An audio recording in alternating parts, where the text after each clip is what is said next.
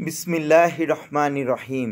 আসসালামু আলাইকুম আরহামতুল্লাহি অবরাকাতু ইনশাল্লাহ আজকের ভিডিওর বিষয়, কাশ্মীর লকডাউন ভার্সেস সারা পৃথিবী লকডাউন মজলুমের দোয়া, অত্যাচারিত মানুষের দোয়া কখনো রদ হয় না। অবশ্যই আল্লাপাক ওই দোয়া কবুল করে কাশ্মীর যখন লকডাউন হয়েছিল সারা পৃথিবীর প্রতিটা দেশের সরকার চুপ ছিল। কেউ একটা টু শব্দ করে নাই। সবাই বলছে এটা ইন্ডিয়ার অভ্যন্তরীণ বিষয়। এ বিষয়ে আমরা নাক গলাবো না। এমনকি মুসলিম দেশগুলো, তাদের যে সরকার প্রধান আছে, সেই সরকার প্রধানগুলো একটা উচ্চবাচ্য করে নাই। ইন্ডিয়ার তাবেদারি বা গোলামি করে গেছে। কাশ্মীরকে যখন লকডাউন করা হয়েছে, কাশ্মীরের মানুষকে যখন ইন্ডিয়ান আর্মি অত্যাচার করছে, মা বোনদের যখন ধর্ষণ করছে বা রেপ করছে, তখন তাদের চিৎকার রে আল্লাহর আরস পর্যন্ত কেঁপে গেছে। এই মানুষগুলোর, আল্লাহ জানে কোন মানুষটার দোয়া কবুল হয়েছে। আজ সারা পৃথিবী আল্লাহ পাক লকডাউন করে দিছে। দেখেন এমন একটা ভাইরাস যা দেখা যায় না, খালি চোখে দেখা যায় না, সেই ভাইরাসের গুতায় সারা পৃথিবী আজ অস্থির হয়ে গেছে। সারা পৃথিবী কারও লকডাউন করা লাগে না নিজের থেকেই প্রতিটা দেশ সে সরকার, তাদের দেশের নাগরিকদের লকডাউন করে দিছে। দেখেন, অত্যাচারিত মানুষের দোয়া, এগুলো অবশ্যই কবুল হয়। আমি বিগত অনেক বছর যাবত শুধু মানে বলে আসতাম যে, আল্লাহ, তুমি কি চোখে দেখো না? আল্লাহ, একটু বিচার করো, একটু বিচার করো। আল্লাহ আমাকে মাফ করুক। আল্লাহ অবশ্যই ভালো জানেন কখন কাকে ধরতে হবে। আল্লাহই জানে এই করোনা ভাইরাস আমাদের জন্য আজাব না পরীক্ষা। এটা শুধু নবীরা জানতেন, কারণ নবীদের কাছে আল্লাহর তরফ থেকে ওহি আসতো। তবে বর্তমান যে পরিস্থিতি, সারা পৃথিবীর তাতে মনে হয় আজাব। আল্লাহ আমাদের সবাইকে মাফ করে দিক। দেখেন, এটা আল্লাহর হুকুম।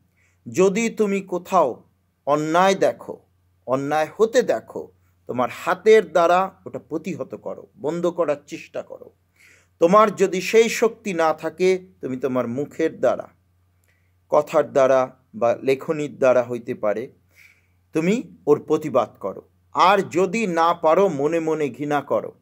কিন্তু শুধু মনে মনে ঘৃণা করে বসে থাকার কথা আল্লাহ পাক বলে নাই। মনে মনে ঘৃণা করো এবং চেষ্টা করো কীভাবে তুমি কথার দ্বারা বা কাজের দ্বারা বা হাতের দ্বারা ওই অন্যায়টাকে বন্ধ করতে পারো। আমাদের সমাজের প্রতিটা মানুষ আমরা কম বেশি আল্লাহর এই হুকুম থেকে দূরে আসি এই হুকুম অমান্য করতেছি। সারা পৃথিবীতে যত অন্যায় হচ্ছে, সৌদি আরব আল্লাহ একমাত্র সব কিছু জানেন, আমার কোনো জানার অধিকার নাই। আল্লাহ আমাকে মাফ করুক। আমার মনে হয় দাজ্জাল ওই সৌদি প্রিন্স, ওই সালমান। ওর মতো কুলঙ্গার সারা পৃথিবীতে দ্বিতীয়টি আছে কিনা সন্দেহ। সৌদির মানুষ মুখ বুঝে সব সহ্য করতেছে। একটা মানুষ প্রতিবাদ করতেছে না।